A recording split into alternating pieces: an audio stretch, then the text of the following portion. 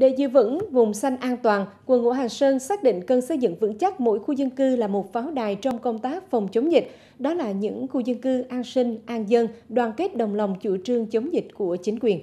Ghi nhận tại khu dân cư 4B phường Hòa Hải.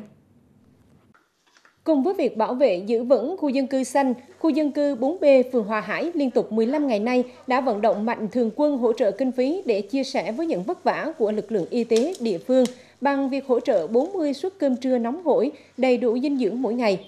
Những suất cơm nghĩa tình hay hàng chục suất quà nhu yếu phẩm được trao tặng cho các hộ khó khăn ở khu dân cư hay việc hỗ trợ mua lương thực, thực phẩm trong những ngày giãn cách đã thể hiện tinh thần trách nhiệm của cán bộ cơ sở nơi đây và thành công họ nhận được là sự đồng thuận của người dân tuân thủ nghiêm quy định phòng chống dịch.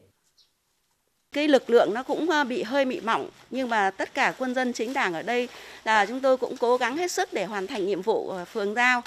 Nói chung khu dân cư ở đây á, là nhân dân chấp hành rất tốt các chỉ thị ở trên cấp trên. Xây dựng khu dân cư xanh đã khó, việc bảo vệ càng khó khăn hơn, nhất là tránh tâm lý chủ quan lơ là của người dân, cùng với việc phối hợp giữa các lực lượng trực chốt kiểm soát chặt chẽ tại chốt trực cửa ngõ chính vào khu dân cư.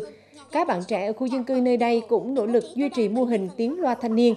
Chiếc loa di động phát các thông báo về yêu cầu phòng chống dịch được các bạn di chuyển khắp các ngõ ngách kiệt hẻm với mục tiêu mưa dầm thấm lâu. Mỗi người dân ý thức tạo nên cộng đồng ý thức. À, bọn em đã đi ờ, đến ờ, từng ngõ trong các khu dân cư để tuyên truyền cho người dân hiểu rõ hơn về các công văn quyết định mới của thành phố cũng như là tuyên truyền cho người dân nắm rõ hơn về những quy định 5K và thực hiện tốt phòng chống dịch. Cuộc chiến chống dịch Covid-19 còn lắm gian nan.